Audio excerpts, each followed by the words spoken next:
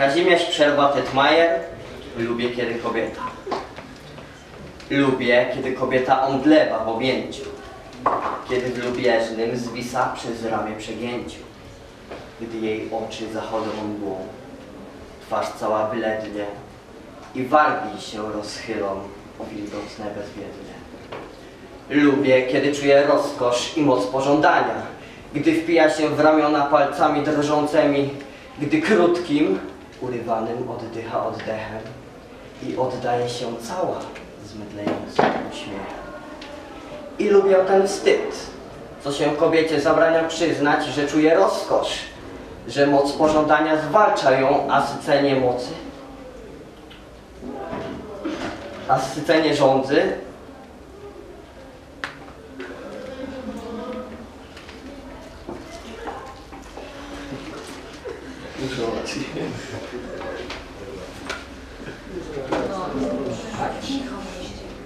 A sycenie rządzy oszalenia, gdy szuka ust, a lęka się słów i spojrzenia.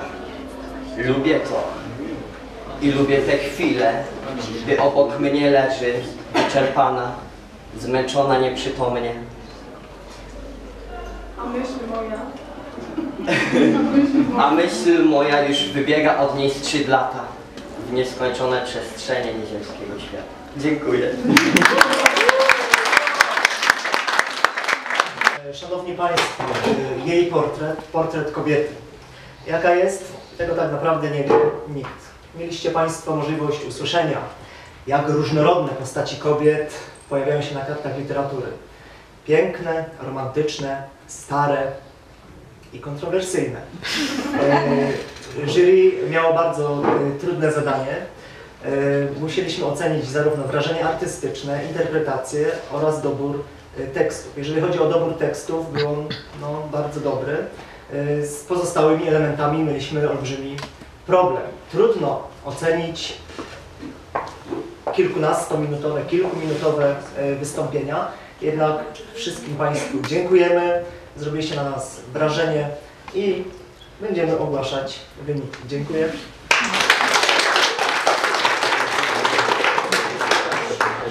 Prosimy Panią Dyrektor Szkoły Elżbietę Kas o wręczenie nagród zwycięzcom i upominków uczestników.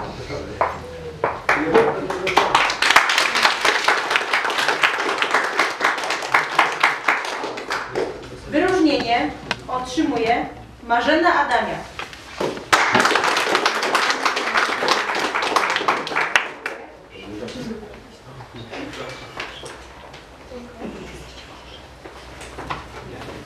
Trzecie miejsce Amanda Gąsiorek.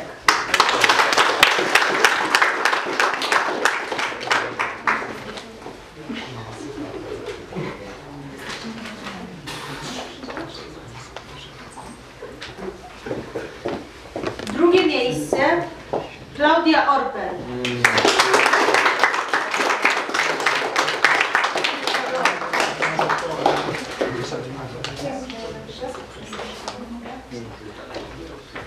I pierwsze miejsce Luiza Roszak.